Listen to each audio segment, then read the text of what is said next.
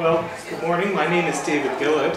I've been involved with Interlink now for five years. Um, for the first four years, I was the accompanist, and uh, this year I've had the great uh, privilege and pleasure of being the director. So it's uh, an exciting program.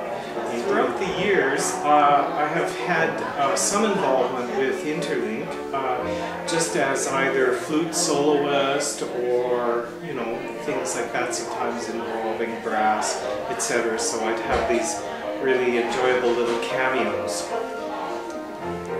That's how it all started.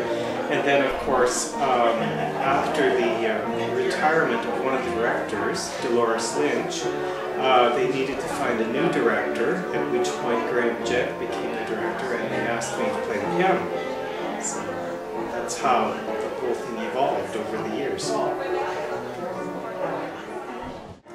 Well, first of all, it's a pen pal program and the adults and the children get to meet each other through the writing of these letters Apart from that, it's a choir, an intergenerational choir involving the adults and the great and the children. So we meet every Tuesday. The children have their rehearsals, and then of course in the afternoon, uh, the adults have their rehearsal at TPR. Periodically, we come together for joint rehearsals, and then of course we have our teas. So we have one before Christmas and one before Valentine's Day. Uh, the kids, of course, love these.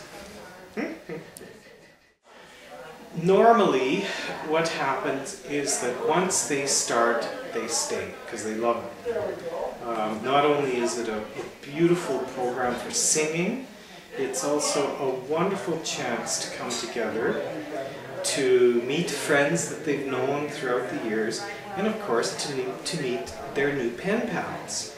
And uh, as I said before, it's an enjoy enjoyable process to uh, to engage in, in uh, the uh, you know the letter writing process. Um, of course, you know there's always the music, which is always a joy. There's uh, teaching children how to sing. It's giving them an opportunity to do something that they simply would not find really anywhere else as a group.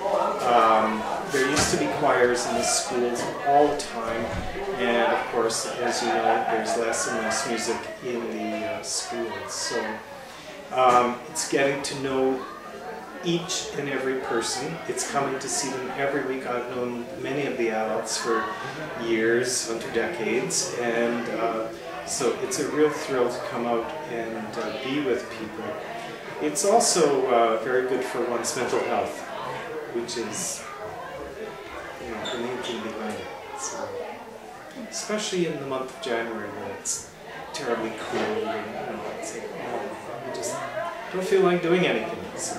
Force yourself out to internet, I mean interlink, and then wow, you know, it's just a wonderful experience. It's very, very, very healthy.